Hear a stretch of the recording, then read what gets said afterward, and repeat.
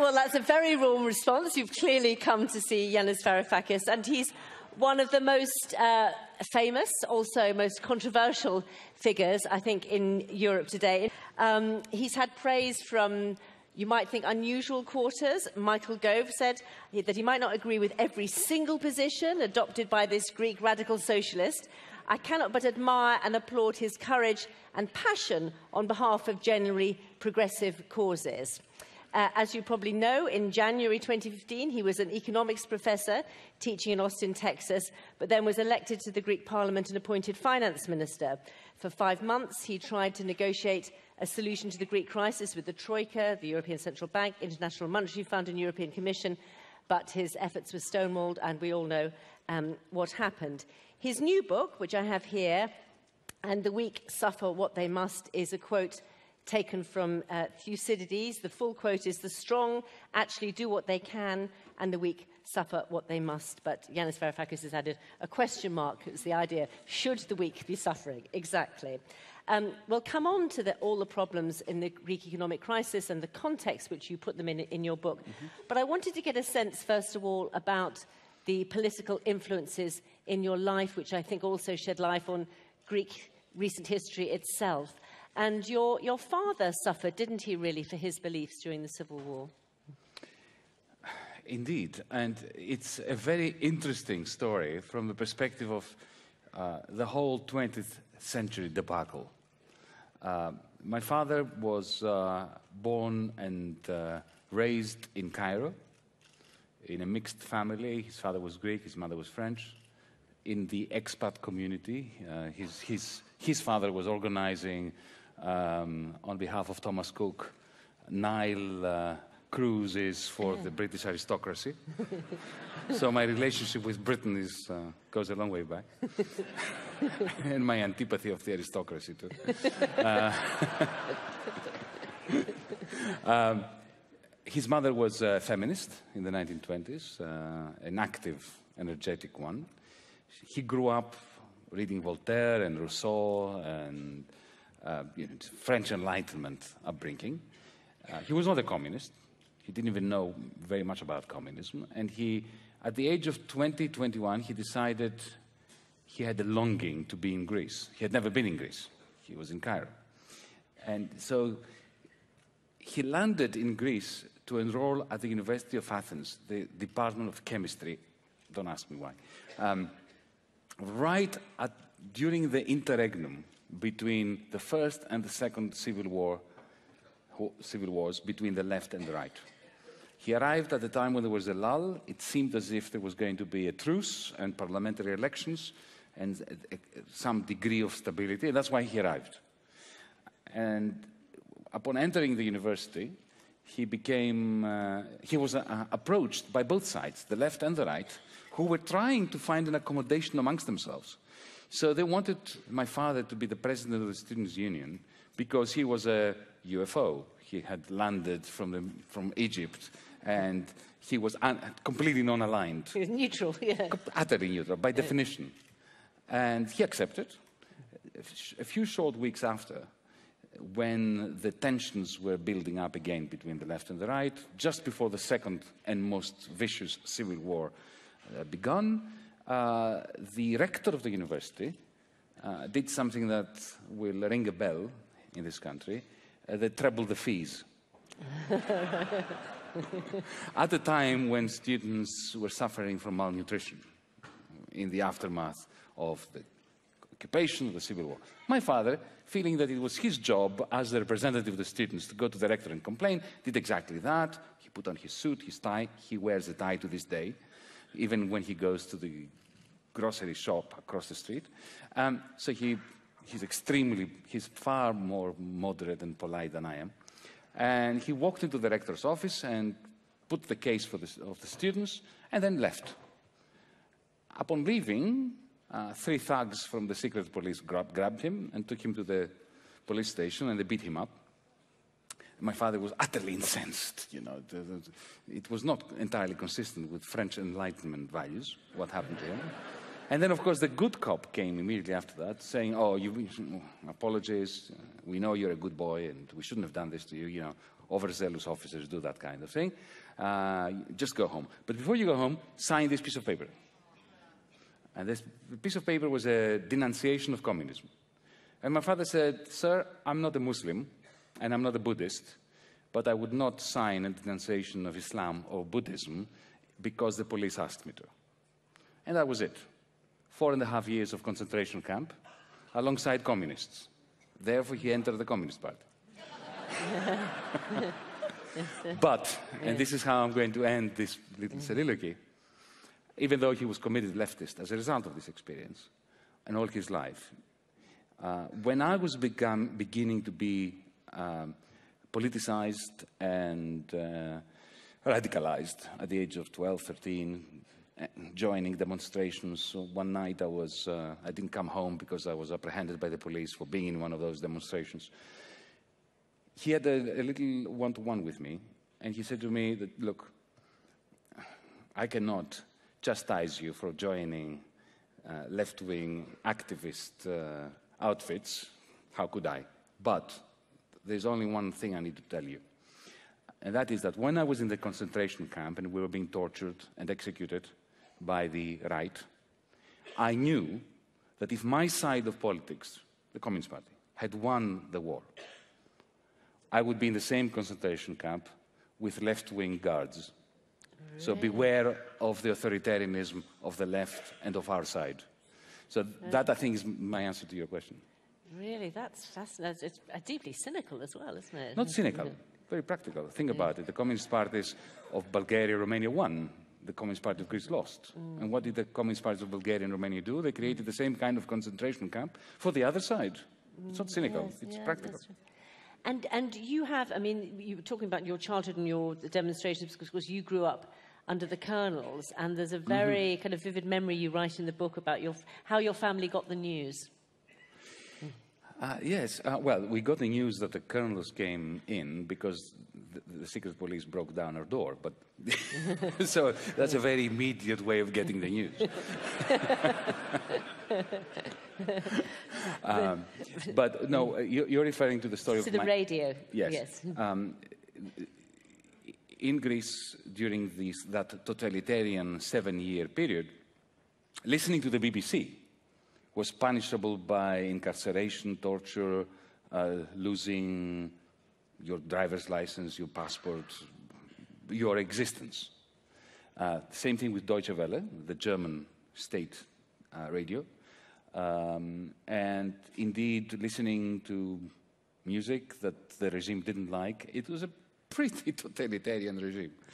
Uh, so my parents, my father had purchased, here, actually in London, he had purchased a very powerful shortwave radio. And my mom and dad used to bring it out and place it on the floor and cover themselves up in a red blanket and listen to Deutsche Welle. For some reason, they trusted Deutsche Welle more than the BBC. Sometimes they listened to the BBC. Come on. there was this con conviction that Germany was a, a, a social democratic, progressive, democratic country uh, that was assisting Greek Democrats. And actually, that was true. Mm. I remember Willy Brandt and uh, the social SPD regime back then. Uh, and sometimes I would sneak under the same red blanket, just pretending to be listening to the radio, not understanding a word. Of course, it was all in German. Uh, and even when it was in Greek, because there was some radio program, I didn't understand what it was. But it was, for me, it was very exciting, the whole thing. Mm, yes, I can imagine that's very strong. So, what was it that lay behind your decision to leave Greece behind and to come here to university? Oh, that was my dad. After the first time I was arrested, he said, Son, you're not studying here. You will study in England. I don't give a damn what you study. It can be anything from anthropology to zoology. You're going to England. And how did you feel and about I did. it? I loved the idea yeah. because, you know, as a 17 year old, getting away from home, um, making your own way in the world, getting to know a different place, it was great fun. Yeah, and, and you, you, you, stay, you, you taught here for a long time as well, didn't yes, you? Yes, I stayed here for 10, 11 years.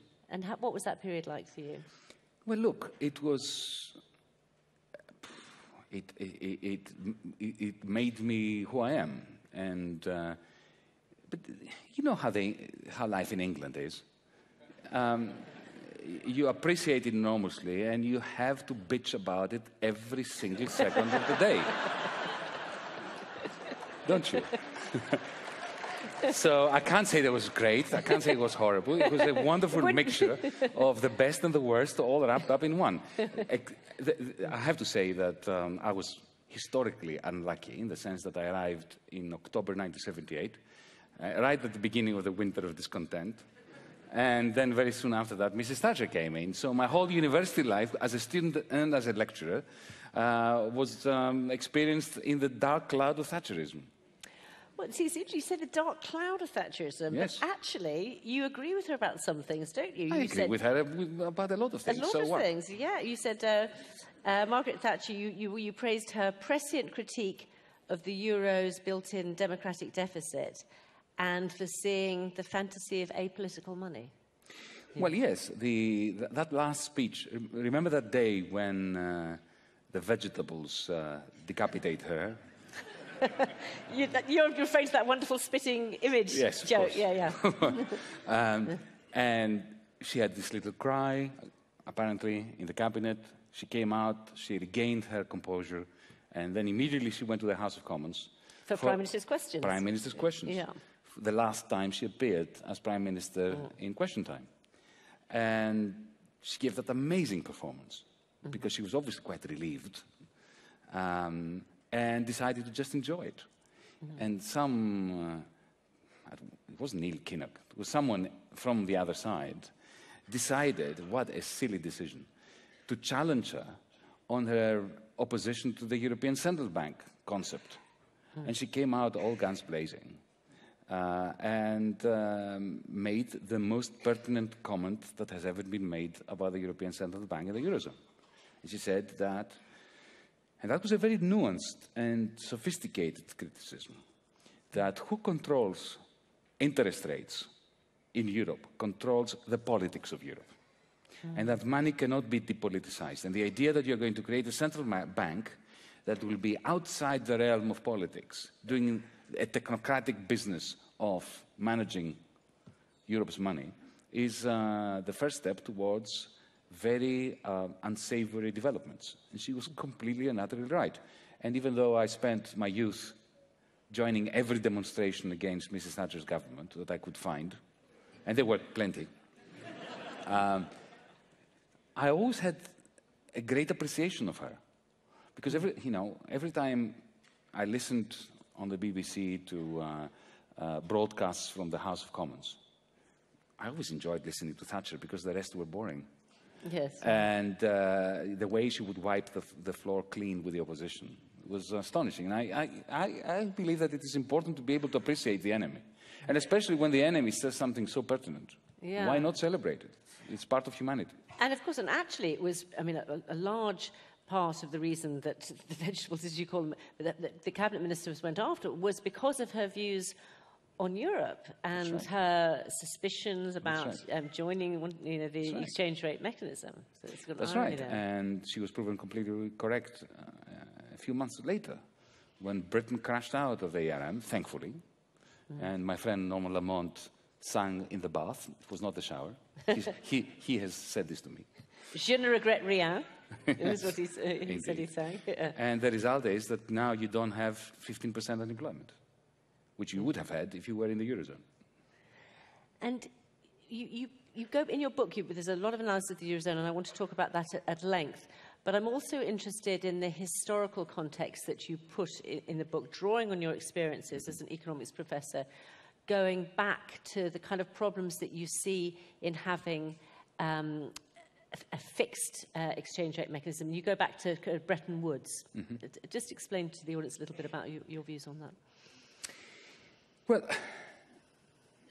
capitalism has a tendency towards fixing exchange rates. But this is um, always something that you, you, you, create and then it collapses. The reason why there is a tendency to fix exchange rates is because businesses, especially large corporations, like the certainty of fixed exchange rates. They don't, need to, they don't want to, to worry about uh, how much their raw materials are going to cost them three months from now?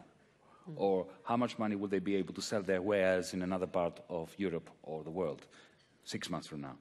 So there is a tendency towards fixing interest rates. But when you fix interest rates, as we did in the 1920s after the Great War. Uh, and John Maynard Keynes wrote that beautiful pamphlet, The Economic Consequences of Mr. Churchill, because Churchill then was the Chancellor and he fixed exchange rates in the context of the golden, gold exchange standard.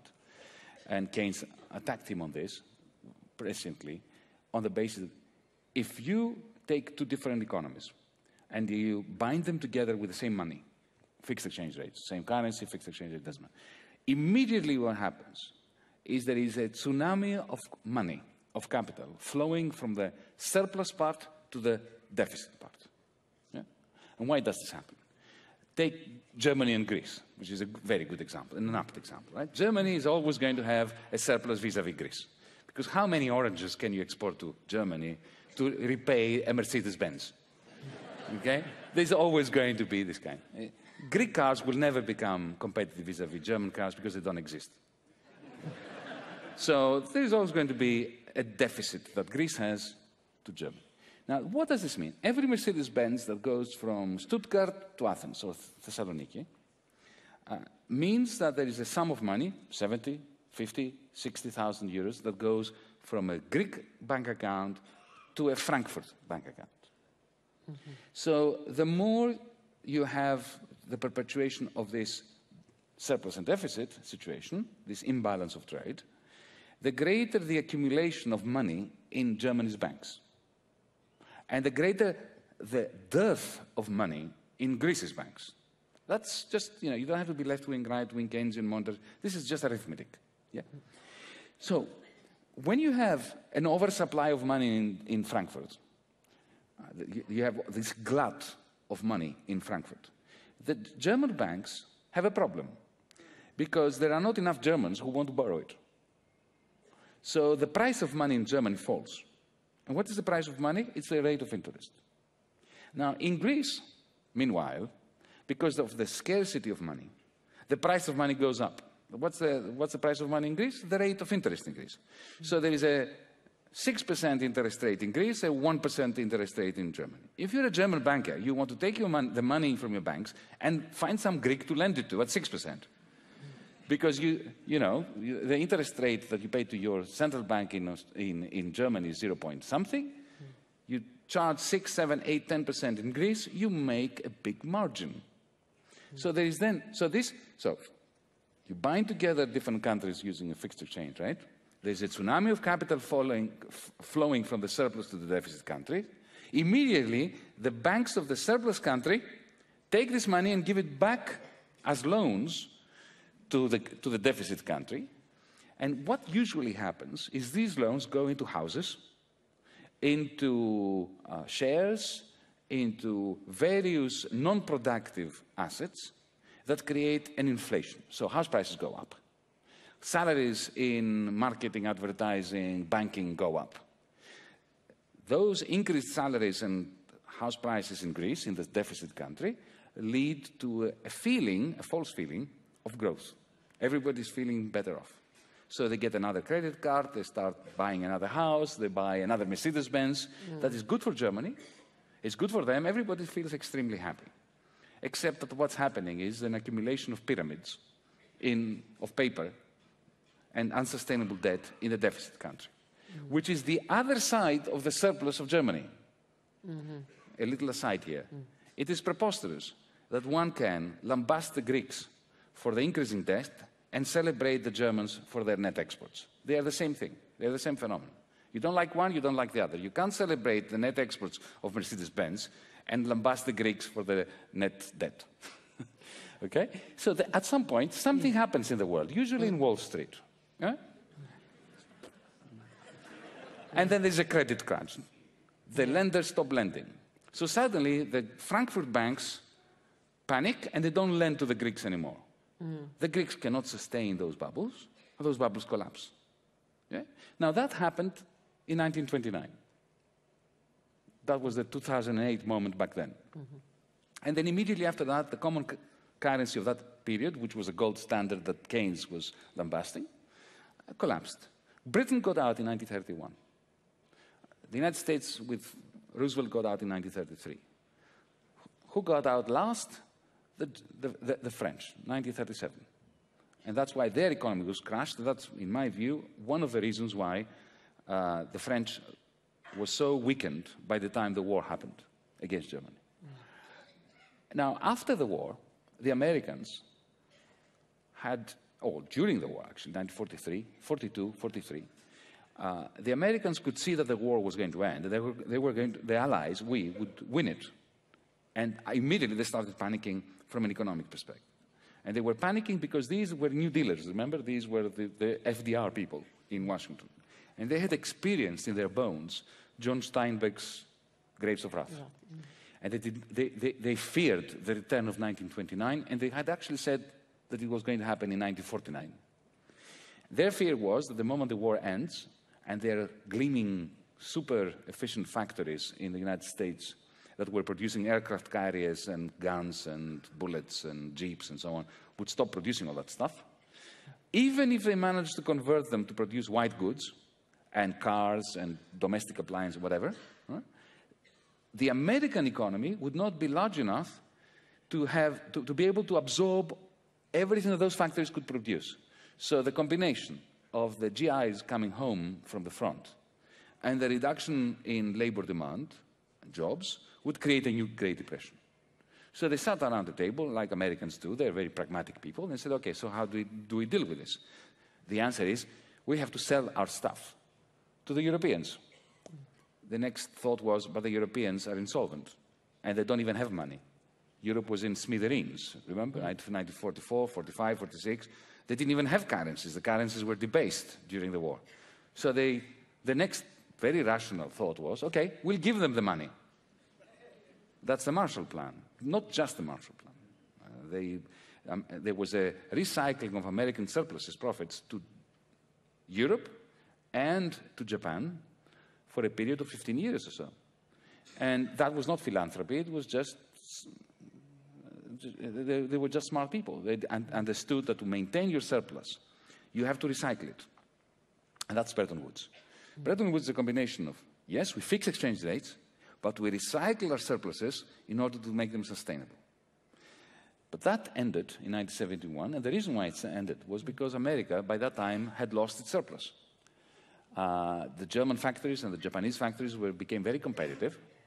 Uh, in combination with the Vietnam War, which cost an arm and a leg to kill lots of people for no reason, um, meant that America could no longer had a surplus to recycle. So the whole Bretton Woods system that was leaning on the foundations of the American surplus collapsed. But again, the pragmatism of, the United States shone, shone through in 1971 when Richard Nixon did that which Americans are very good at. They said, oh, this is our creation, it doesn't work anymore. We end it. Yeah. And then John Connally, who was the Treasury Secretary of Richard Nixon, uh, a former Democrat, LBJ person, came to London and announced to the British government and to the Europeans, um, you're on your own. We've been helping you for, for two decades now. Now you swim or sink. The dollar is our currency, and it is your problem. Mm. Yeah, so interesting, the, the critique there of, of, fixed exchange rates. But just going back to something you said earlier, I mean, I understand your criticism of, of German bankers, but would you say... I didn't criticize them. I said that they, they well, did what they had to they, do. They did, okay, they did what they had to do. But what about... It's in the nature of the beast. okay. But is it in the nature... What about the, the, the Greek side, though? Is, was, was, was there a responsibility there? Did the Greek banks have to borrow the money? Should they have taken some responsibility? Should they have not done that? Or are you, are you saying it was I don't believe it, Martha, I don't believe in moralizing. Bankers are not moral entities. You can't expect them to be the ethical guardians of society. Well, what about, what about they politicians? They try to maximize profit. Could, could, the politicians have regulated the banks yes, better of course. to stop them from that borrowing? That is where so, there is yeah. moral responsibility. Mm. But they all failed equally. Mm. Uh, they bought the, their own narrative, their own rhetoric. Mm. The rhetoric, remember, but you remember, remember Gordon Brown? Yes. Yeah, do you remember what I he said? That mm. we've eliminated the boom and bust cycle? Mm. Yeah? Remember Ben Bernanke?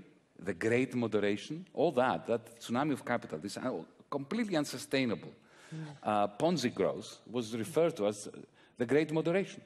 They had believed the financiers' mantra that now we are in a new paradigm. When I, I, I was, a, as an economist, I was criticizing, I was warning, not just my, by myself, with other people as well, Joe Stiglitz and so on. Uh, we were warning that this is going to bring about a major collapse, a new de depression.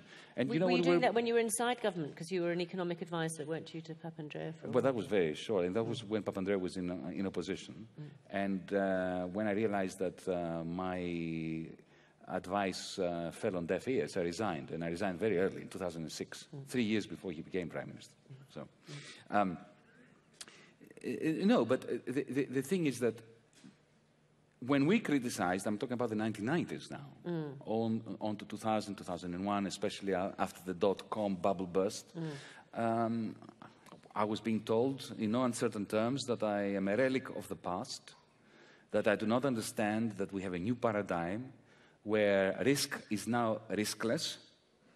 Have you heard of the concept of riskless risk? Yeah? That the financial sector managed to diffuse risk and to spread it out so that there would be no uh, causation chain reaction that would bring about a wholesale collapse of the financial sector. Mm. Uh, and politicians love to hear narratives that are consistent with their own very short-termist agenda. And this is where they failed. Especially social democrats. The worst politicians of the 90s and 2000s were the social democrats. And what about the decision then for Greece to join the single currency, to join the euro? What lay behind that and why? I mean, we, we hear various accounts of, in quotes, you know, that, that Greece cooked the books in order to be able to, to join this club. Well, this is a very interesting question. But first, in the book, I, I mention, um, I, I, I, I, retell and revise um, an explanation of why we did it why we all got into the Eurozone, unlike Britain. Um, which is not factually correct, but I, I, love telling the story because it's fun. but the, analytically, Never let the facts get in the way of a story. It's a great journalistic mantra too. so the reason why I created the Eurozone was because the French fear the Germans. Oh yes, I love this story, yeah. Uh, the Spanish wanted to be French. The Italians wanted to be Germans. The Dutch had already become Germans, as had the Austrians. The Belgians wanted to be simultaneously Dutch and French under the Deutschmark. Uh, the Greeks feared the Turks. The Irish wanted to escape the United Kingdom. And finally, the Germans feared the Germans. there is an element of truth in this, but it's not factually true. I just like saying. no, the, the reason why Greece entered the Eurozone, Italy entered the Eurozone, Ireland entered the Eurozone. These are countries that should never have entered the Eurozone, as the post 2010 events proved. The reason why they did was that there was a, um, an interesting coalescence of narratives. So, if you're a rich Greek living in the northern leafy sum, uh, suburbs of Athens and you have a yacht and a Porsche and whatever, you hate the drachma because the drachma keep the, the Greek national currency of yesteryear keeps devaluing. So the value of your mansion in Paris, in London, if you want to sell it to somebody in Britain, hmm, keeps falling. Um, and you crave a hard currency so that your assets that are, should be valuable, equally valuable to a yacht, which is in France or in, in Southampton, wherever yachts mm. are in this country. Um, I wouldn't know. I wouldn't know either. So uh, usually in the Caribbean, but anyway. Um, that they do not devalue.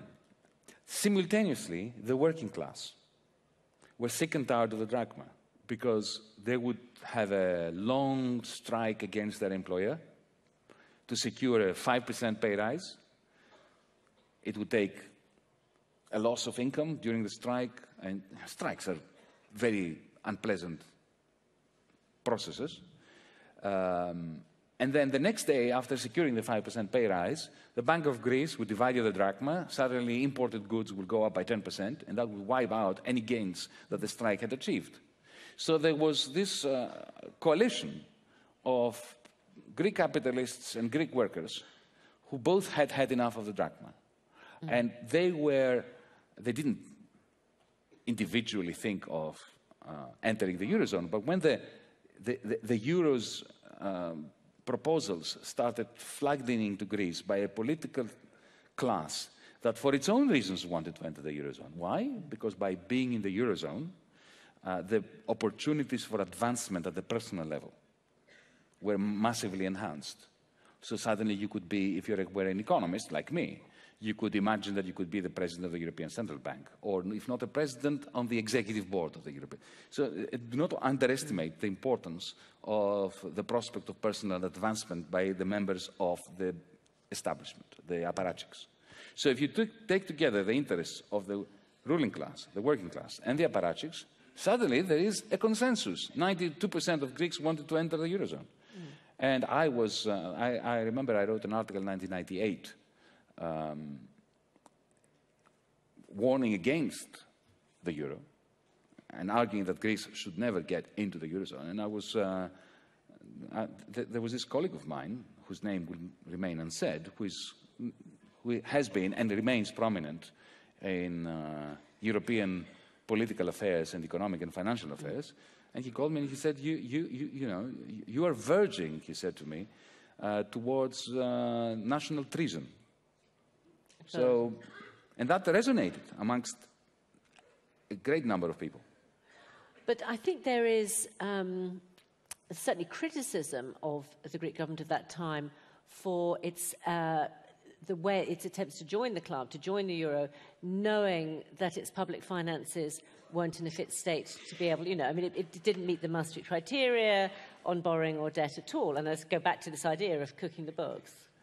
Martha, this is, this is um, so, such a fanciful proposition. Think about it. To believe that, you must believe that the Greek government managed to uh, pull the wool over the eyes of Eurostat, the European Commission, the European Central Bank. Well, that's two things. You could say they that didn't. the European Commission turned a blind eye. You could argue that, but there is some responsibility for the Greek government for putting forward their fi the, the, the figures in the first place, but, isn't there? But they all fudged everything. Every, mm. the euro was created through a series of fudges. Mm. Um, let, uh, allow me to tell you exactly what happened. German, the German elites were split. The Bundesbank, the central bank of Germany, did not want the euro. They did not want to give up the Deutschmark, and they were strong armed into accepting it by Helmut Kohl, the chancellor, uh, who said to them, if you don't go along with that, I'm going to change the charter of the Bundesbank and I'm going to end your independence. It's really very simple. This is a national matter. Uh, the euro has to, to, go through so that German reunification can proceed. And, and therefore, I'm going to destroy you. So they so reluctantly accepted it. Okay? But that doesn't mean that they were happy with it. Uh, and the big question was Italy. Because Italy was the country, Italy is a substantial country, unlike Greece. Mm. It's a substantial economy, it's a large economy, and a, a, great competitor of many German sectors. Greece has no sector that is competitive against Germany. But every time Volkswagen or Mercedes managed to gain a competitive advantage over Fiat or Ferrari, just to give you an automobile example, right? what happened was the Central Bank of Italy would devalue the lira, and suddenly that competitive advantage was wiped out. And there was a very clear and present demand by uh, German industry that Italy should be part of the euro so that there would be no longer any competitive lira devaluations. So they had to get Italy in. It was a political decision to bring Italy in. Italy had the same debt problems as Greece. So Italy violated the Maastricht rules just like Greece did. Yeah? Greece a little bit more, but not much. Yeah? now, to get Italy in, they had to find a way of pretending that the Italian numbers were better than they were. And what do they do? Because they're not particularly inventive, these people in Brussels. Uh, they, they, they subcontract all this work to Goldman Sachs in particular. JP Morgan, you know, because these people know how to, yeah, to disguise, to be economical with the truth, let's say. Eh? So Goldman Sachs goes to Italy and they perform various tricks. And then the Greek government, and in particular, a high ranking member of the Greek Central Bank who used to work for Goldman Sachs by accident, yeah, brings Goldman Sachs into Greece to do exactly the same thing. And let me give you an example of what that meant, right? So let's say that there is a chunk of debt, take 10 billion, that you want to hide. You want to pretend that it's not on the books of the bank, or of the, of the state. So what you say is this.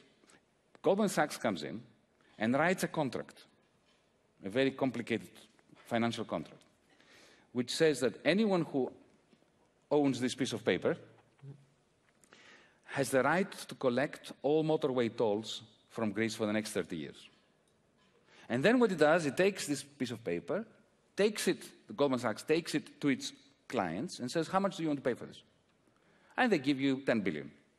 And then you take this, you sell it, the money goes into the Greek state coffers, and you say, ah, see, we reduced the debt by 10 billion. Yeah?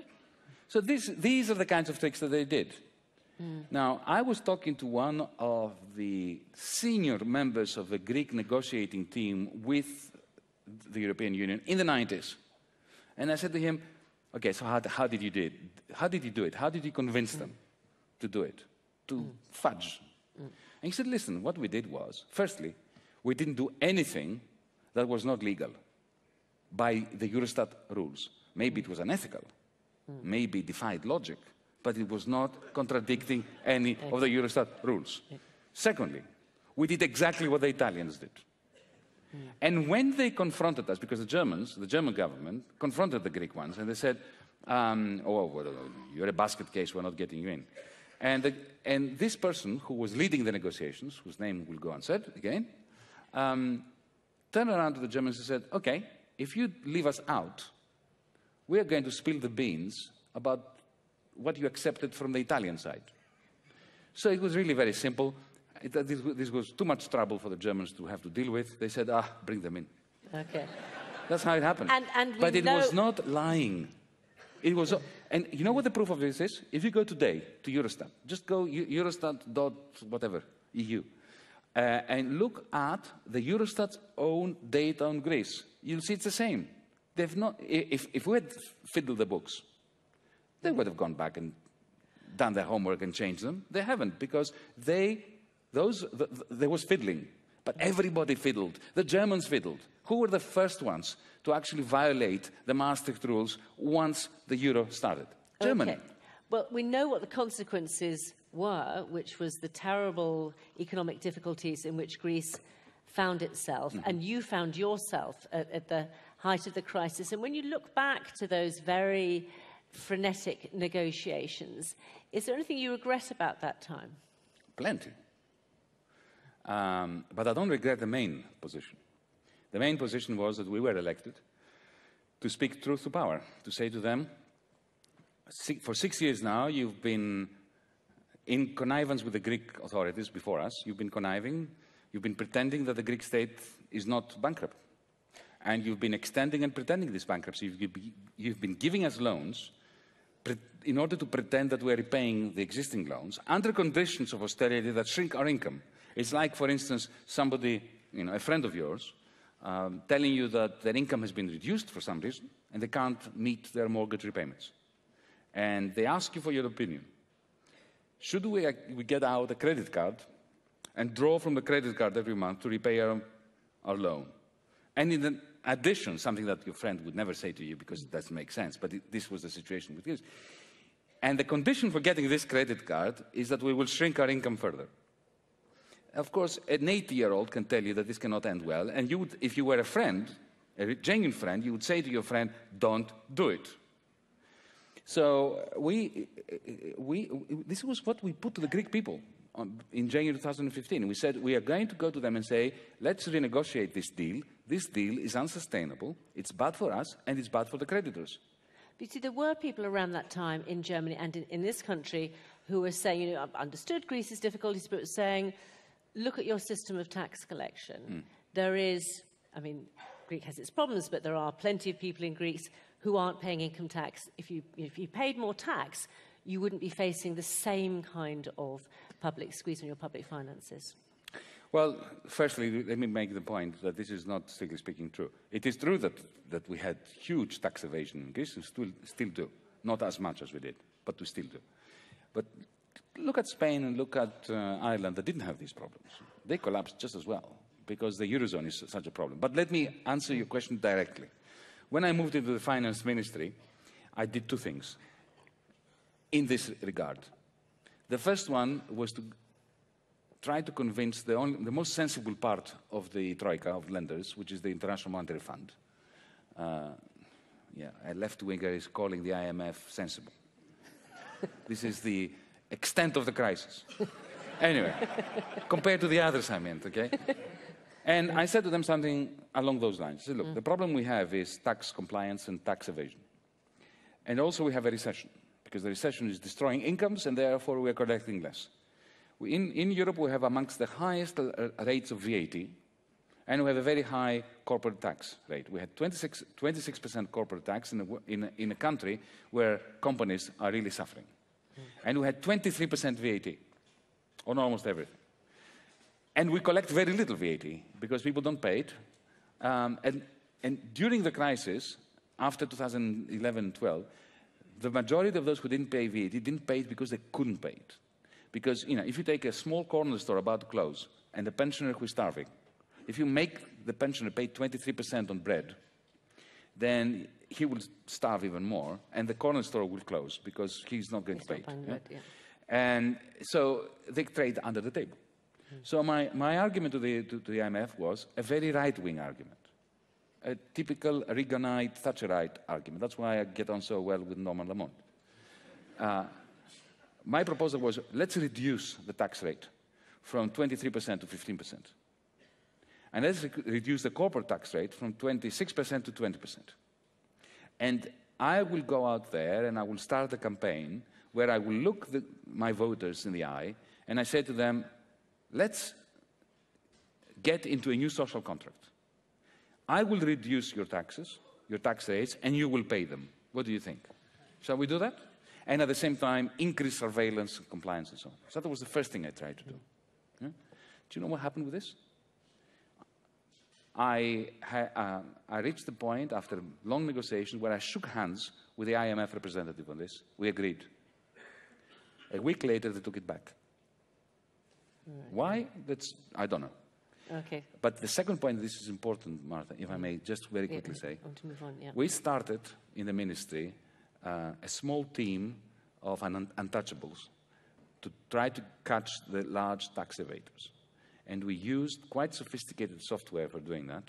I had to lean upon our bankers for two and a half months to get all the data regarding transactions from one bank account to another for 15 years in, on DVDs.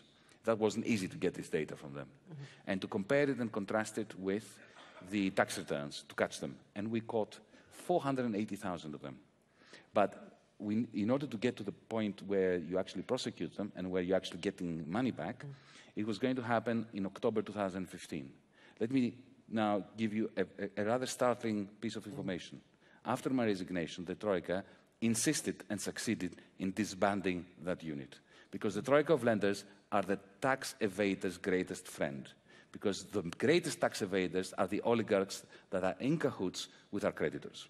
Right, okay, well, interesting. And, and I, I, do want to open it up to the floor, but just one final question from me, which is given all the criticism that you make of uh, EU institutions, you're against Britain leaving the EU. So, what's all that about then?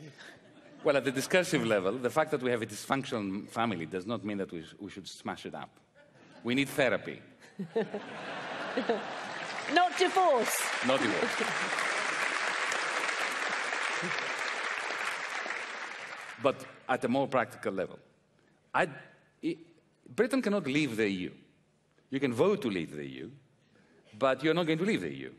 What will happen is that you will still be ruled by the EU regarding industrial standards, uh, market regulation, and environmental protection standards. In a sense, most of your le legislation is going to be determined by Brussels. Uh, and you will simply not be there to even have a say or a veto. So you can check out anytime you like, but you can never leave, as Hotel California says. so there is no gain from leaving. And there is a great deal of damage that you will do by leaving because Europe is, it's a mistake to think that Europe is out there. It's a club, and it's a question whether you want to be a member of it or not. The European Union is not a given out there. It is disintegrating under the weight of its hubris. The problem is that if it collapses, and if this disintegration is sped up by Brexit, we're going to have a new Great Depression in Europe that will consume Britain whether you vote to stay in or out. And I want Britain to stay in because Britain is a significant ally for the rest of us in Europe to try to get our house in order in Europe. Obviously, other arguments are available on the leave side. I will say for the sake of balance, perhaps not so much in this hall, but I would like to take some questions from the audience. Um, 18 months ago, uh, Syriza won the January 2015 election, campaigning on the slogan, Hope is coming. In the intervening 18 months, the obvious tensions within both the Eurozone and the EU generally have intensified, not least with our referendum that you've just been speaking about. Would you say hope is still coming and perhaps in your answer say something uh, to explain to us what actually DiEM25 uh, is? Thank you. Thank you. Uh, hope stumbled and fell in July of 2015. We were crushed. There was a coup d'etat, there's no doubt about that. And the only reason why the IMF turned back on its agreement regarding VAT and so on was because the creditors decided that they don't care about getting their money back from Greece. They are much more interested in making, give, sending a signal to the Spanish, to the Portuguese, to the Irish, who had elections coming, that if they dare vote for a government that confronts the Troika, you know, this is 19th century vulgar power politics. So we, we lost the battle. But hope has to be revived. And I feel it percolating through this room. Every time I meet people in Germany, in France, in Latvia, in Portugal, I see that Europeans are fed, sick and tired, they're fed up with this recapitulation of failed policies. Uh, I don't think we should be optimistic, but we should have hope and build upon it. As for DiEM, this is exactly what it does. The Democracy in Europe movement, thank you for mentioning it, which some of us started throughout Europe. Uh, we began in Germany, in Berlin, in February, is all about this.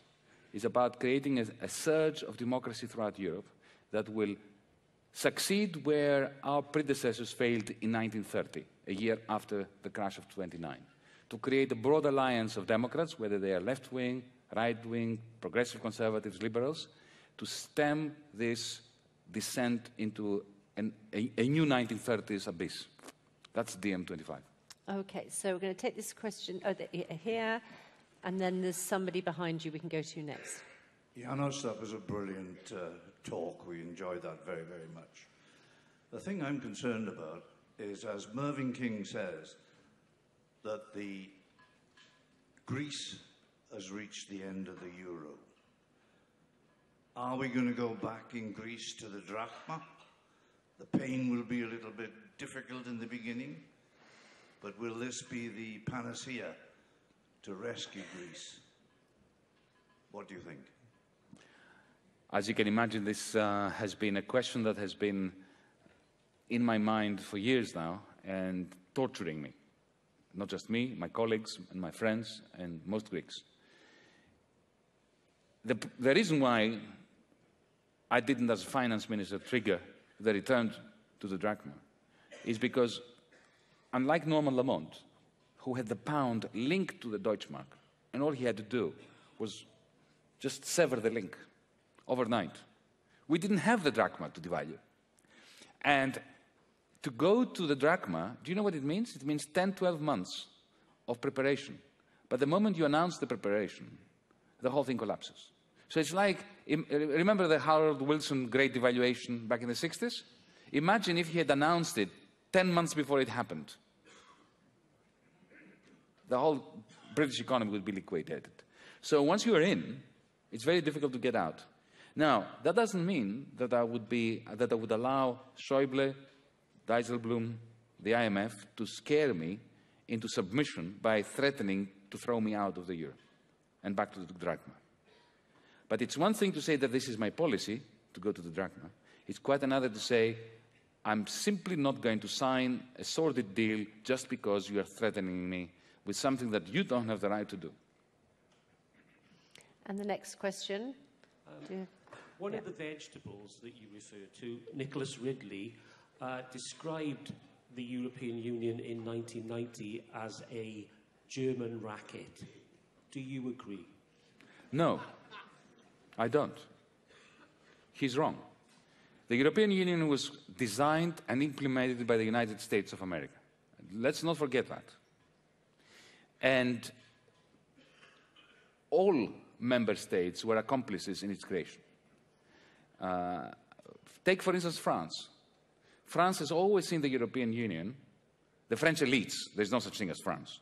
I'm talking about the French elites, the graduates of the Grande École who run the institutions of the French state. They've always seen monetary union as a way of usurping the Deutschmark, using the creditworthiness of the German currency to expand their own control over the rest of Europe. Yeah? And the, the reaction to this action comes from a Germany that is trying to defend its Deutschmark from the French. And then you add to this mix the Italian elites that are very, or were very intimately linked with the mafia, with corruption and so on, who wanted to enter the euro in order to expand their own legitimacy within Italy.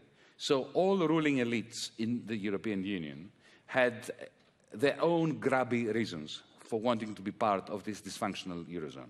Or I they do would not say blame it's a way of keeping the peace, though, wouldn't they? They would say that after the Second World War, it's a way of binding countries together in a grand project. Of course. Of course, they would say that.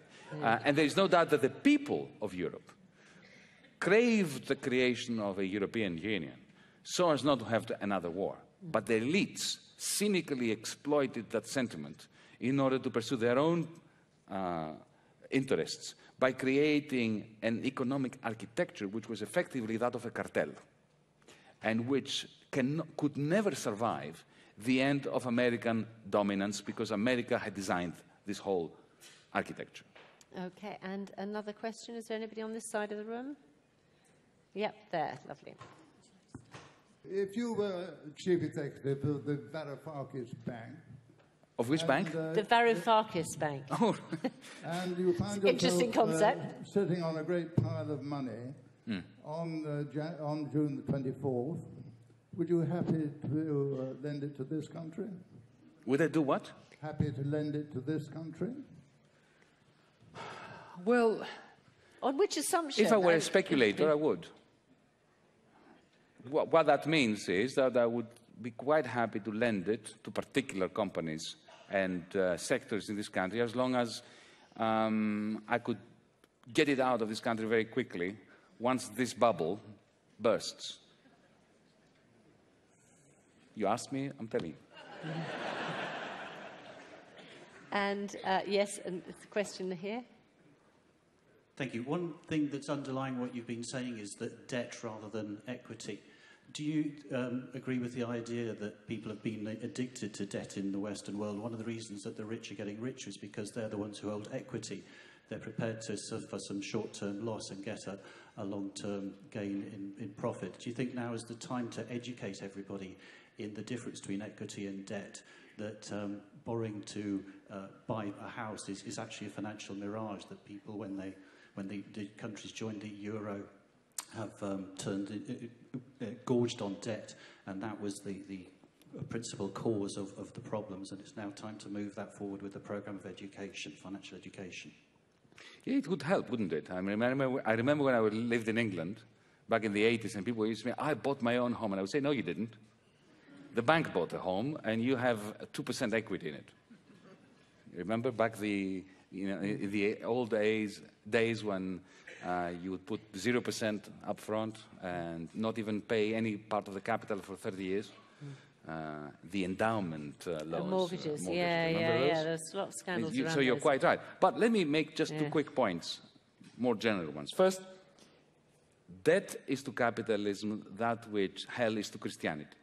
Unpleasant, but essential. It doesn't work otherwise.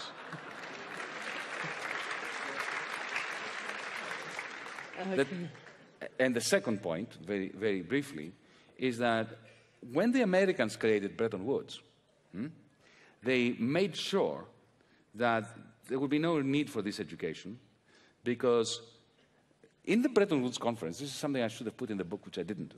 I forgot to, to mention it. So let's just add it uh, as an addendum. Um, do you know that in that amazing conference that designed the future of finance in the West, not one banker was allowed to attend? Can you believe that? Mm. And that was at the express um, command of uh, Franklin Roosevelt. And if you think about it, the world, the, the, the world of banking during the years of Bretton Woods was extremely boring, as it should be. Bankers made no more than twice what other professions made. So the, the, the wage differentials were tiny. Uh, they had very few degrees of freedom. Interest rates were fixed. There were no derivatives. There were capital controls. If you wanted to take a huge amount of money from Britain and take it to America or to India or wherever, you had to explain why you're doing it. You had to have a permission, a written permission from the Bank of England and the IMF. Uh, those were the days, weren't they? okay, and one last question, I'm afraid. We've nearly run out of time. Yes, thank you. Um, you've referred a number of times to the um, United States relationship with Europe, um, and I wondered what you thought might be the implications of a Trump presidency in November? Well, I shudder to think. We have two minutes left. I shudder to think. Um, when I want to give myself some solace, I remember the days of the, the last few days of uh, 1979, when we were waiting for President Reagan to be inaugurated. And to me, Ronald Reagan, if you read what he was saying in the run up to that um, inauguration, was, he was a very frightening man. So I'd like to think that maybe this is a chance that Trump will be a new Reagan, transformed in office. Because Reagan was a great monetarist who was going to slash and burn and use austerity everywhere. And he ended up being the most Keynesian president the United States had since Roosevelt.